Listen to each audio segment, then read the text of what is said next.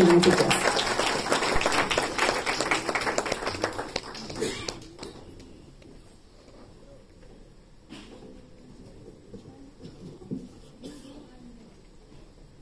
my colleagues, Sri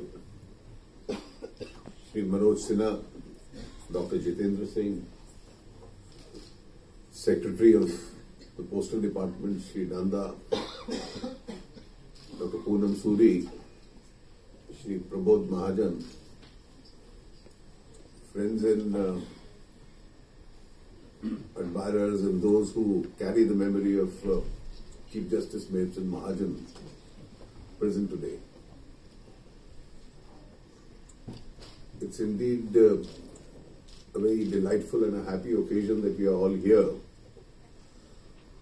on the occasion of the release of this commemorative stamp to honor Chief Justice Mehr Chand Mahajan.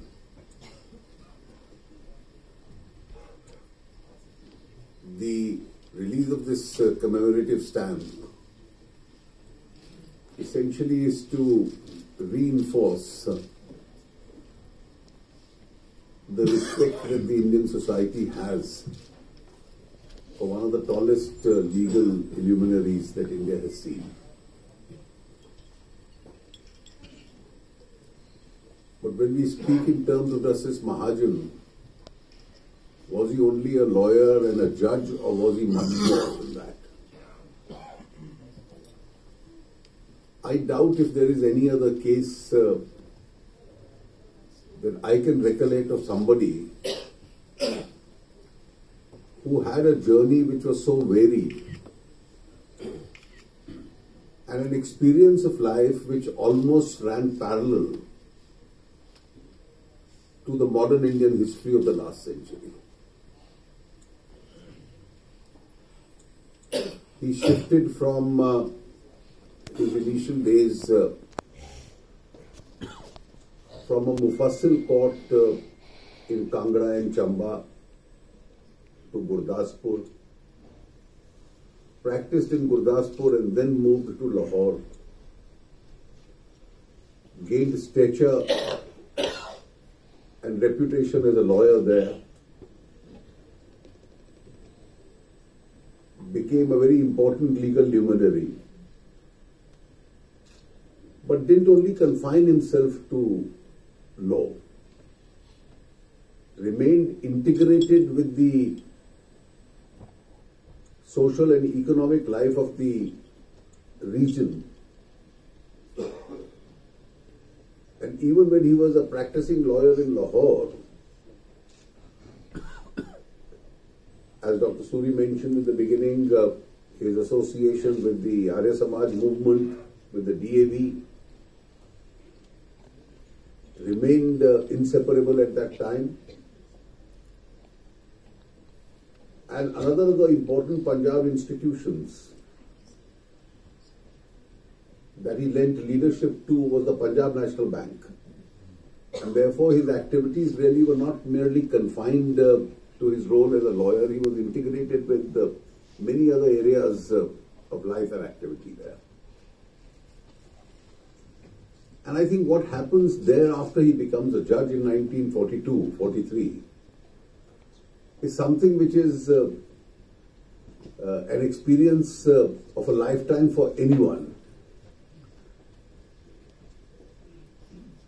When the INA mutiny took place in 1945, particularly at the Karachi port, the British government then appointed a commission to investigate the INA mutiny.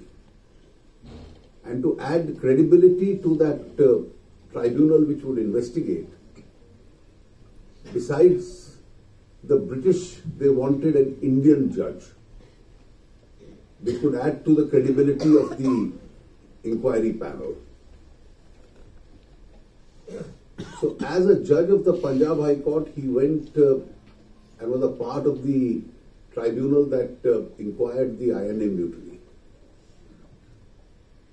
Barely had he finished that assignment, that probably what was, uh, I think, uh, more important uh, than even his role as a Chief Justice that when the partition was to take place and you were running against time, and the Radcliffe mission was to define the boundary between India and Pakistan, he then was made the judicial member of the Radcliffe mission. And the Radcliffe mission, as we all know, had uh, very difficult challenges to face. Which side of the border would Lahore fall into? Where would Gurdaspur and parts of uh, uh, Punjab and Rajasthan fall into? And on basis of the population determination, these decisions were required to be taken. And probably the largest refugee influx from one region to the other there hasn't been another precedent in the world that you had such a large migration of population as a result of its findings. And then um, he was a part of the Radcliffe mission itself. And for a judge at that time, a judge of a high court, to have had all these experiences. But then what happened is something very unprecedented, which I think uh, no constitutional lawyer would ever understand as to how it could have happened. Maybe this was prior to the constitution, prior to 1950, and therefore there was some scope for this happening. But immediately after independence, 15th August 1947, there were several uh, of the ruler ruled states which took their own time in signing the instrument of accession. Sardar Patel succeeded in persuading most of them. But you had uh, problems in Travancore, Cochin, you had problems in Hyderabad, you had problem in uh, Bhopal, uh, you had problems in Junagadh, and of course problems in Kashmir. And it took a couple of months, right till 1948, that almost uh, every instrument available to somebody who wanted to consolidate India was utilized by Sardar Patel. It was the mutiny of the people utilized in uh, Junagadh, the police action in Hyderabad, and so on, which uh, enabled these states to become a part of India.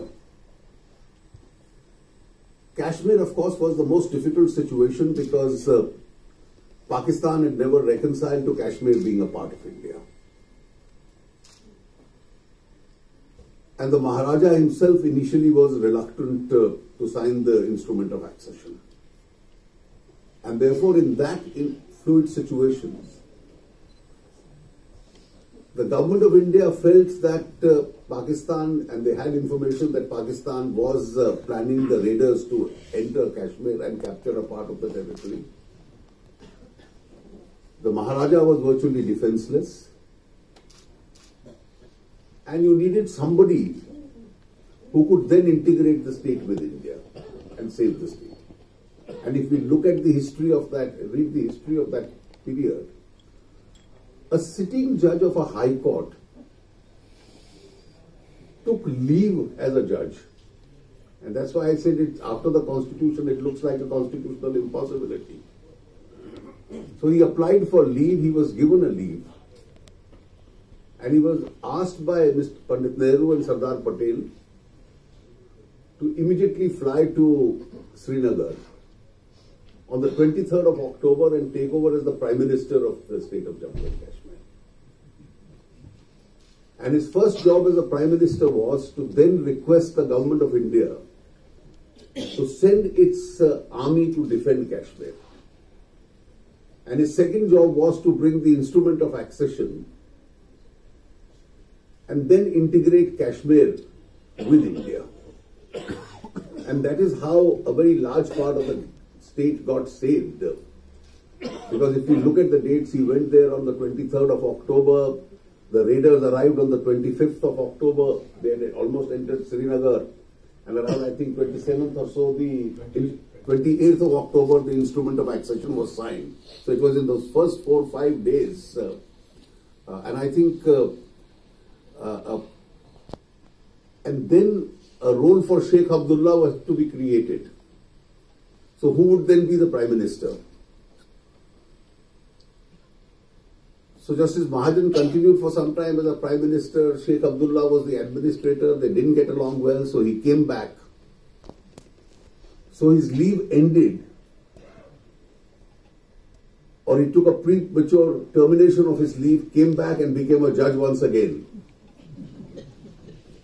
And within days, he was then elevated to the federal court. We didn't have the Supreme Court because Supreme Court was created only after the Constitution. And the federal court used to function those days. There was no Supreme Court building from two rooms in the Parliament House itself. So he then became uh, a judge of the federal court, which then uh, evolved after the Constitution and he became a judge of the Supreme Court itself. after he ceased to be the Chief Justice, he came back to the DAV Trust, his probably his first love, and then continued to perform these uh, functions, uh, which again uh, I think ran parallel, as I said, to the history of this country. If we look at uh, most of the states, they were created on a linguistic basis probably the most difficult state in India to be created was the state of Karnataka. Because there was a Maharashtra-Mysore boundary dispute. And uh, that had to be determined as to how the state had to be created. So he was, as a retired Chief Justice, he was asked to resolve the boundary dispute. So he took parts of Maharashtra. So you have Karnataka is one state where there are multiple languages. So even today they refer to parts of Karnataka where Marathi is spoken, that there are parts where Telugu is spoken, there are parts which are adjacent to Tamil Nadu, and then there is the old Mysore area. And therefore, the new state was created as a part of uh, uh, that endeavor itself. I think about uh, his tenure in the Supreme Court,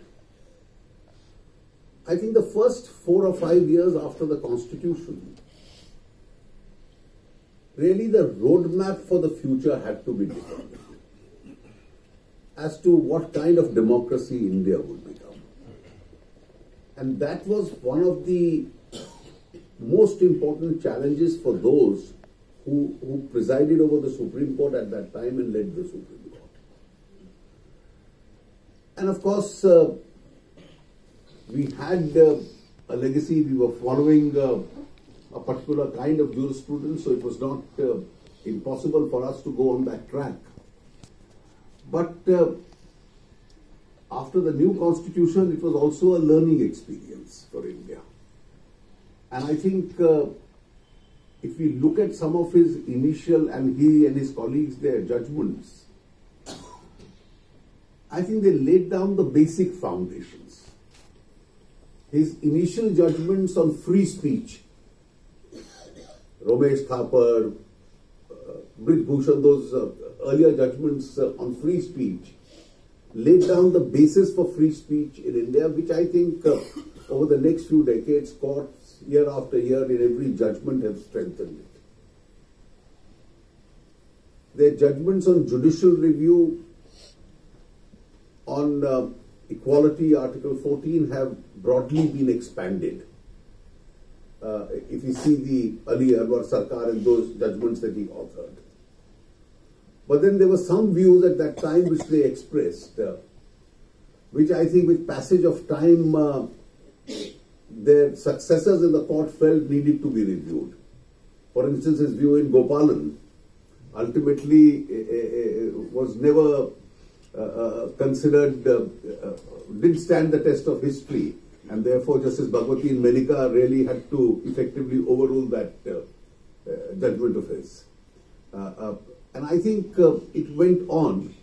But initially to have a constitution and its interpretation being given by the court in the first four or five years is extremely important as to what kind of footprints is the judiciary going to leave behind what is the extent of uh, scope for judicial review that they are going to expand? How are they going to strengthen fundamental rights? And I think the leaders of the court in those first four, five years had a very important responsibility. And I think uh, uh, uh, that's the trend that his uh, judgments really at that stage had set. If I look back uh, in totality, I don't think there is another precedent of somebody who was a judge, a chief justice, uh, who was integrally involved um, in the educational movement of India through the DAV, who was uh, integrally so involved in the process of the partition and determination of the partition line of India, in the integration of Kashmir in India, in the uh, division of the states as such, and therefore a large number of these steps which became a part of modern Indian history had somewhere a Mahajan footprint uh, always in it. And therefore I think uh, really if you remember him today when a stamp is being released, uh, he was much more than merely a great judge. He, he, he, he, he's left uh, his, his footprints in many other areas uh, of public life in India. And I think it's a great uh, honor that uh, uh, almost decades after he's no more, he's still remembered. And we are today literally making him immortal through this stamp that we are releasing today. Thank you very much.